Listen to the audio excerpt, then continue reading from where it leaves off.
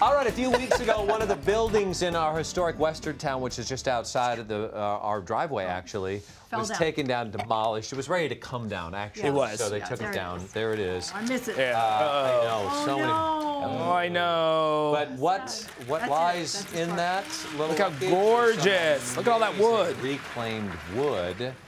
It was actually um they had yellow tape. It was actually so um like you couldn't actually walk in. What's that Right. called? It Yeah. was It uh, was condemned. Condemned. Thank you. for that. Ding ding ding ding. Yes. Good, fantastic. So, um, a little history lesson with Yeah, that? so that um, that part of the lot is one of the original parts of the lot, and it dates from around 1912 to 1918, and it's really where they did lots and lots of shooting. Like, I can't swear by it, but I would not be surprised if John Wayne himself Right. put his foot on this wood. Yeah. Actually, I have no way of knowing that, but Well, he was here. he could have been. He was right. here on the lot. So it's amazing. You walk down, and so it's it's sad to me, you know, when buildings like that are no longer, and some of them mm-hmm. have to go. But it's really great to be able to take those pieces of wood. Not only is it stylish right now to have reclaimed lumber, it's good for the planet, and I think it's nice to have pieces in our world where things are so mass-produced, to have pieces that have really real unique. integrity mm-hmm. and Yeah. history. Well, the last time you were here, you made a console table out of wood. Yes, Yes, wood and, and yes, pipe. there- I think we have a photo. And There we pipe, go. it is. That was from the floorboards, Yeah, like the steps beautiful. and the, the deck in front of the building. that was Loved it. super Everybody easy. was fighting over that table. Mm-hmm. Everybody wanted to take it home. I know everybody fabulous. did. I don't know what happened to it. I don't see it in the I house. think I think Prop Master Oh, got the. Prop Uh, Master got- okay, um, one question I want to ask you, since this is reclaimed wood and it's been here for centuries, um, how do you make? How do you know it doesn't have termites in there? so you do want to check the wood, and that's really you can tell. You can push on it, make sure it's hard, make sure it's not wet. Look for any sort of um, bug. You know holes, and when you see when it's cut, you can see this is actually nice and Right. you Oh, know beautiful. dry Okay. and beautiful wood. So yeah, you do want you don't want to bring termite termite infested wood into the house. 'cause That's a whole other segment. And what are you making today?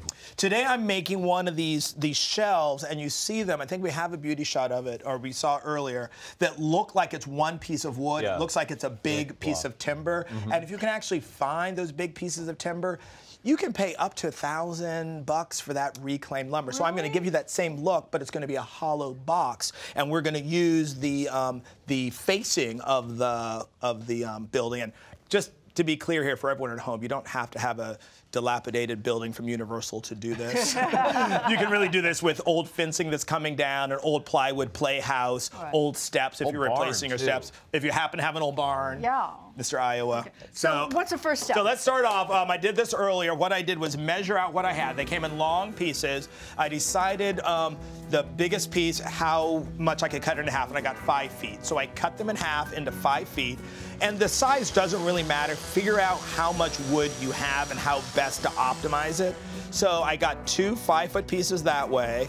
Um, I marked it to sort of trim off that little broken edge, um, and that's where the color changed. And then once I got that, I got a third piece, and I basically split it um, down the center, so it was 10 inches wide. So I got two five-foot pieces, and so that's going to be the wraparound um, for the front and the back. So if you look here, this is what I got.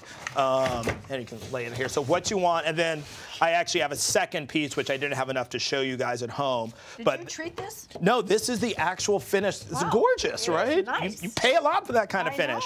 Um, so once you've got this laid out, you've got your two sides, your front, and your top and your bottom. What you're going to do is assemble it. And I actually used a nail gun to do this, so you can take a look here.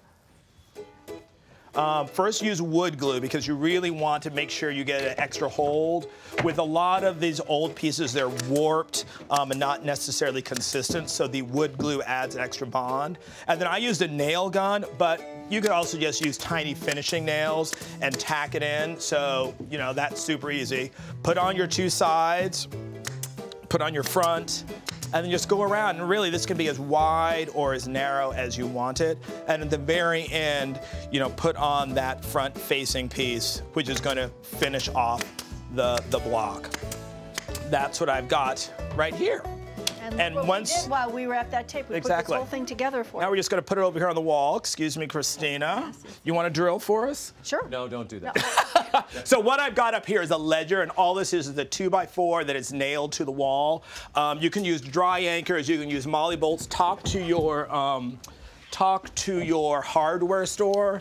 They can actually give you recommendations as, as the best way to hang it, because really, depending on whether you have sheetrock or whatever walls, and then all you're going to do is three nails through the top of it into that screws. You could say So they're doing Screw, that. sorry. If you would like more Boom. ideas from Ken, you can uh, visit Ken Wingard at kenwingard.com. This is fabulous. We're going to put everything on there. All right. Et voila! Okay, voila. Nice job.